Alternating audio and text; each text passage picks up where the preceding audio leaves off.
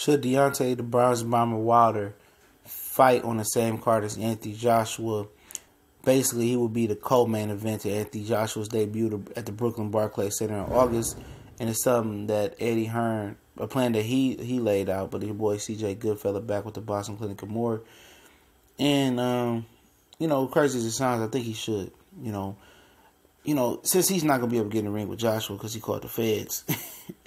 I mean, that's best thing is to um, fight on his undercard and then get in the ring after you beat who you beat. Presumably, we talked about Dominic Breazeale or Dillian Whyte or being the next fight. And if you know Anthony Joshua doesn't choose to fight Anthony Josh, I mean fight Jarrell Miller and America, then Miller jumping to number one. But I think it should be Breazeale and Wilder, given their history, the lawsuit and all that stuff.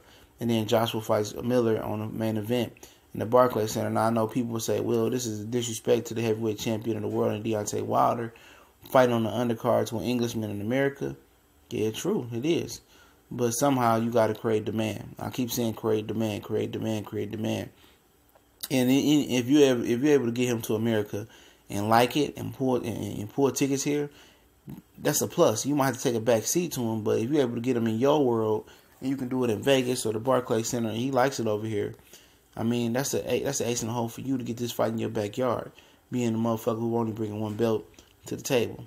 But I understand how people say it's a slap in the face, but guess what? People gonna slap Deontay Wilder in the face regardless. You know, no matter if he got two, three, four belts in his belt account, it don't matter. People still just gonna disrespect him. I told you guys he ain't gonna get his respect until he long gone out the game, retired or even dead. So, yeah, I'm, I'm saying he should do it. You know, because then you know you control the feds in your, in your in Brooklyn, right in America, you control the police.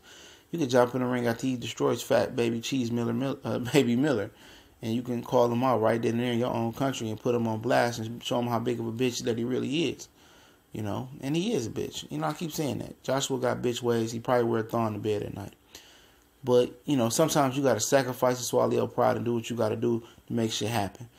And you got to swallow your pride, Wilder, do this, fight on his undercard in your in your in your country, and then call him out. You know, after you beat Breazeale, or if you beat Breazeale after he beats Miller for sure, for sure, and um, call him out, man, and make him create the man. You know, you and him fighting on the same card, and you able to pull those numbers with Ortiz you, you guys probably gonna fill up the Barclays centers. Like you probably gonna have standing room only seats as well. So it makes sense. And sometimes you got to put your pride aside to make. Sometimes you got to take a step back to take a couple steps forward. And I think that's what Deontay Wilder gonna have to do here. And um, I know it's gonna be hard working under Eddie, but Eddie and Alex worked together before. And um, you know, like I said, sometimes you gotta do what you gotta do. I know my mom always said that. Sometimes, even though you, I ain't want to do the shit and it seems, you know, whatever how how difficult the challenge was or how how nasty or grimy or how how the challenge was, you gotta do what you gotta do to make shit happen. And Wilder gotta do what he gotta do to make this happen, you know, with Joshua in my opinion.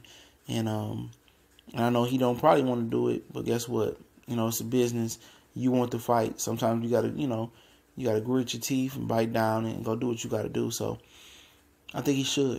I think he should fight on Joshua's undercard versus Breazeale, maybe be versus Dillian Whyte.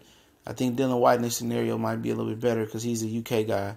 He's an Englishman, and a lot of English people gonna be watching. He can make an example out of him, which he took. You know what? We took Joshua about nine or ten rounds, and he could decapitate him in half the time or under that. I think people gonna start thinking when they see both of these on the same card. They're like, yeah, you know, I, I fuck with that. You know, I want to see these two guys fight. You know, they, you know, and it's gonna create demand. So it's a it's a step back or two steps back for, for ten steps forward. So that's how Wilder got to look at it. He got to be innovative. If he really wants this fight, he got to do that. You know, he wants to jump in the ring versus Joshua. Like I said, you know, stop looking thirsty. There ain't no point in jumping in the ring versus this guy. He already told you you ain't gonna be in the ring no way. You know, he got if he called the feds on you. So there's no point in you going over there and look like you begging, you begging, you begging. And maybe you really is begging for the payday. I ain't mad. Who who ain't gonna be begging for 12, 15, 20 million dollars? But you can't let them, let them see you sweat unless you see you let them know you're really thirsty for the fight.